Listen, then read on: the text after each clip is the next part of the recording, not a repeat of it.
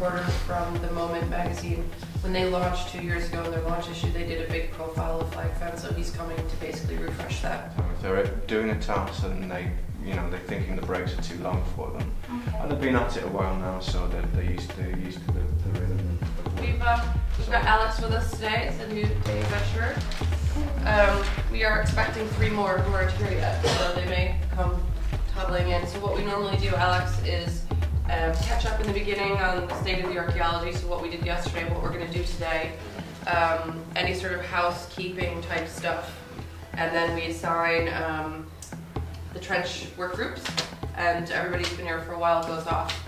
And um, you're going to go over to the visitor center for an, a short orientation to the site and a risk assessment, and then you'll be in the trenches by 10.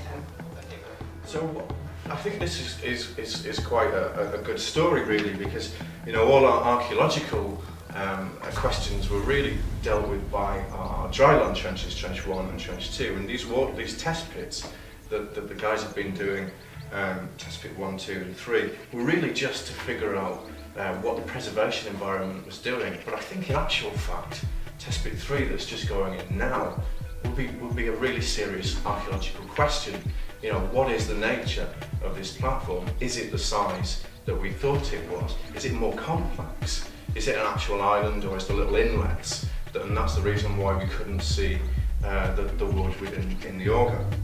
So for the lads that are toiling away in test pit one, John working like a trooper there, Ben and so on, and anyone else who drops onto that today, that is perhaps what I'm most interested in. And I think that's going to give the best archaeological question out of this project.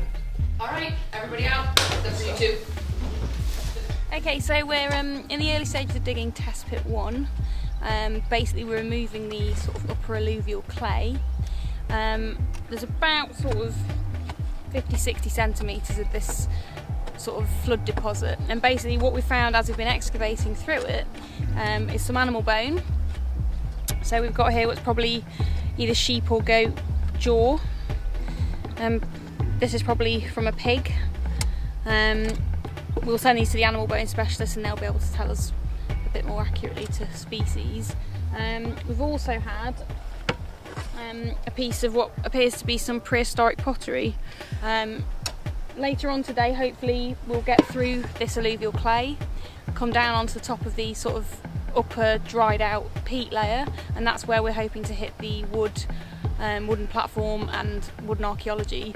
Um, and then we'll do the same as what we've been doing in the other test pits, clean around that, expose it so we can see what sort of condition it's in. So that when we turn it round, it's up, it's just looking at one continuous plane, which means we can then measure, use this and the staff to measure up and down from known points down onto unknown points.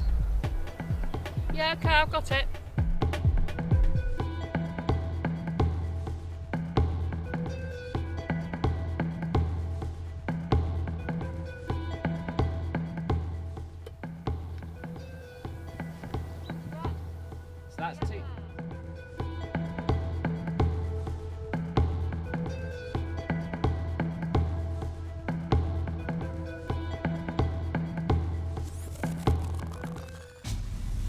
Wood that's coming out from these upper levels is not in very good condition. We can see that it's, and this is a piece of round wood, which instead of being round has been really squashed down quite flat by the weight of the peat. It's not very strong, this material. So we're going to gently clean around it, but it's likely that some of this might fall to bits. But what we're looking to do is get as much information from it as possible and to take subsamples. So there we go we can see that what was once, we've got bark on this side and bark on this side and something else stuck to it here. So we can see that it's become very, very compressed and flattened down. So we're gently going to clean round these and for the most part we're going to record them, take the appropriate subsamples from them, definitely for species identification, and from some pieces to do decay analysis studies, and then the remainder is going to be discarded. The bulk of the wood from Flag Fen does end up being discarded, although we conserve a, a sort of a cross-section of material, so some of the posts get conserved, all the artefacts get conserved, and in some ways all of it is conserved by, uh, by written, written, drawn and photographic record. So every single piece has a photograph, every single piece appears on a plan, and every single piece has a context sheet filling in for it. Whilst I was cleaning, it's absolutely amazing. We found more post holes in the bottom of this ditch. So there's one there, I want to point to you. There's one here, there's one here, one here. and where George is, there's one here. Now we couldn't actually see these in plan and you can't actually see them in section either, which potentially means that these post holes are older than this ditch and older than the current post alignment. So I'm very happy about that. Dave's doing a little dance in the corner. It's not pretty. Told you, it's not pretty. So we're coming towards the end of day 11, uh, which I can't believe means we're basically halfway. And um, we're at a really amazingly exciting point. Um, in most of our trenches, we're down to a place where tomorrow we're going to be actually going even further back in time and getting towards the, the beginning of our story here at Flag Fen.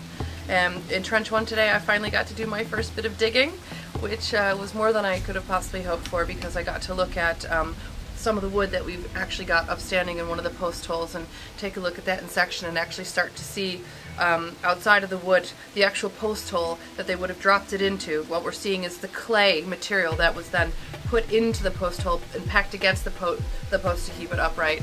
So um, for a tiny bit of digging, it was it was an amazingly fun afternoon. Um, our archive project is up and running, waiting for Duncan Brown of English Heritage to come back and see how we're doing next week.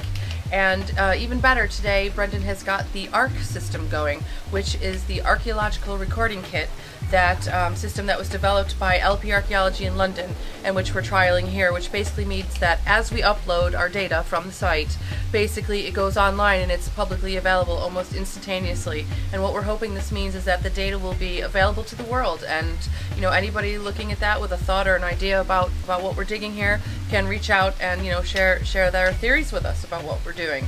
So um, as you can see it's a bit of a a wet finish to the day, but that's okay. Uh, we've got the night off with no speaker, and we're gonna have a little bit of an early dinner and maybe an early night, but who knows? You never know what goes on in the roundhouse after hours.